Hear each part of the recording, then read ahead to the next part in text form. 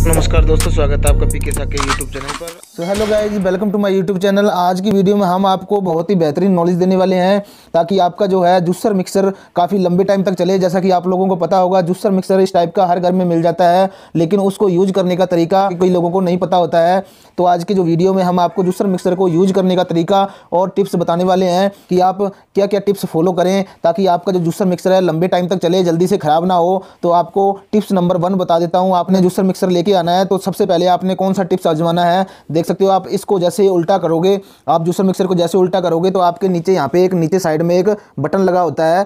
ठीक है दोस्तों, ये बटन किस लिए होता है? ये बटन इसलिए होता है कि जब भी आपने जूसर मिक्सर को यूज़ करना है, तभी आप इस जूसर मिक्सर को नीचे से ऑन कर लो और इसको यहाँ से चला सको।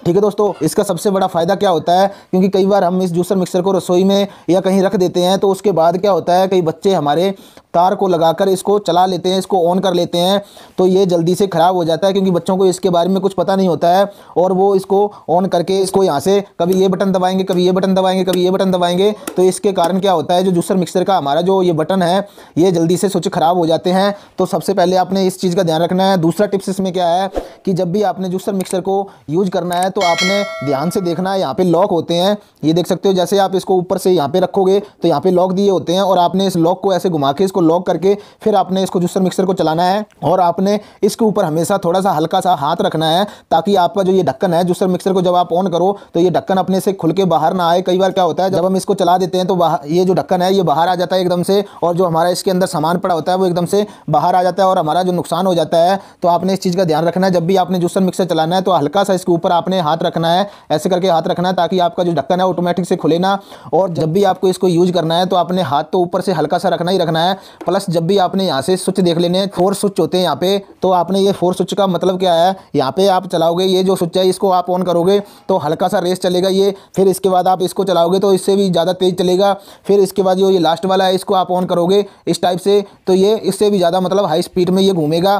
तो आपने इस चीज़ का ध्यान रखना, सबसे पहले इसको जो जब बंद होता है, जब सबसे पहले आपने इसको चलाना है तो सबसे पहले आपने नॉर्मल स्पीड में चलाना है इसको, फिर आपने थोड़ी देर चलने के बाद, फिर आपने इसको मीडियम पे करना है, फिर उसके बाद में आपने लास्ट में आपने हाई पे करना है और हाई पे करने के बाद सिंपल सा आपने रेड बटन को दाबना है और इसको हाथ को हटा के आपने इसका जो जो मटेरियल आप इसके अंदर डालोगे वो आपका तैयार होने के बाद आपने कुछ इस टाइप से इसको जैसे लॉक किया, इस टाइप से इसको निकाल लेना है। ठीक है दोस्तों दोस्तों, इसका तीसरा टिप्स मैं आपको बता देता हूँ। तीसरा टिप्स क्या है? आपने इसको सफ़ाई से रखना है, इसको वॉश करके रखना है, इसको साफ़ रखना है। जैसा कि आप देख सकते हो, इसको आपने हमेशा साफ़ करके रखना है। अगर हम इसको साफ़ करके रखेंगे तो ये हमारा लंबे टाइम तक चलेगा। अभी बात आती है, इसको हमने साफ़ कैसे करना है? अगर हम इसको धोएँगे तो इसके अंदर पानी चला जाएगा और ये जो हमारे स्विच हैं, ये साट हो जाएँगे और ये हमारी जो मोटर है, ये ख़राब हो जाएगी। तो आपने इसको साफ़ कैसे करना है?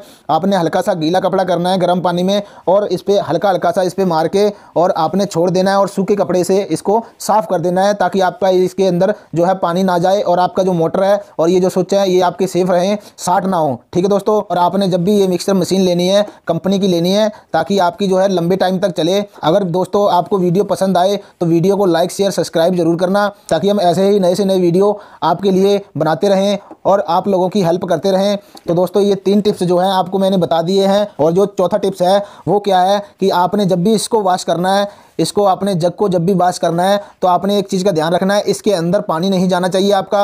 अगर इसके अंदर पानी जाता है तो आपने इसको साथ के साथ जो है सूखे कपड़े से इसको साफ़ कर देना है। अगर आप इसको सूखे कपड़े से साफ़ नहीं करोगे तो इसके अंदर जो पानी चला जाएगा, जब हम इस जग को मशीन के ऊपर लगाएँगे तो मशीन के ऊपर लगाते ही क्या होगा, हम यहाँ से इसको ऑन करेंगे और ऑन करने के साथ साथ ये चलने लगेगा। चलते ये जो इसके अंदर पानी पड़ा होगा, वो हिट हो जाएगा और हिट पानी होने के कारण जो हमारी ये जो मोटर है, यहाँ पे जो छोटी सी प्लास्टिक की मोटर लगी हुई है, ये हमारी डैमेज हो जाएगी। आप देख सकते हो, यहाँ पे प्लास्टिक की मोटर होती है। तो ये जो मोटर है, ये ख़राब हो जाएगी, फिर आपको ये मोटर दोबारा चेंज करानी पड़ेगी। तो आपने ये चार टिप्स आजमाने हैं और ये चारों टिप्स को आपने फॉलो करना है ताकि ये जो आपका जूसर मशीन है, काफ़ी लंबे टाइम तक चले और जल्दी से आपका ख़राब ना हो। तो उम्मीद करता हूँ वीडियो आपको पसंद आया होगा दोस्तों। अगर वीडियो में नए हो तो वीडियो को लाइक करें शेयर करें सब्सक्राइब करना मत भूलें। धन्यवाद, जय हिंद।